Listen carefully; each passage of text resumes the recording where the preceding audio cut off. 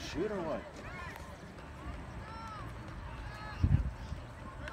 Got him spread out pretty good.